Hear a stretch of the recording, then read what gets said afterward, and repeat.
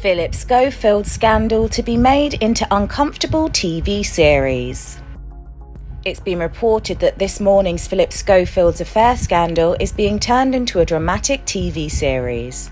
He stepped down from ITV's this morning after 21 years. There has been ongoing speculation of behind the scenes tension between him and former co star Holly Willoughby. It's been reported that people will soon be able to watch the scandal play out in a proposed drama. It's also been reported that the drama will give viewers a different perspective of the events that unfolded. A source claimed the series will follow the journey of his affair until the point he was dropped by his management. A source spoke to The Sun and said, A production company started work and they think the series would be a perfect fit for Channel 4. The storyline will reflect what went on.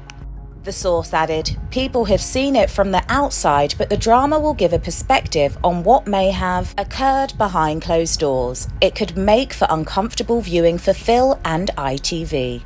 Suggesting the name of the TV drama could be called The Runner, as the TV drama is set to include the former presenter lying to his close friend and co host Holly.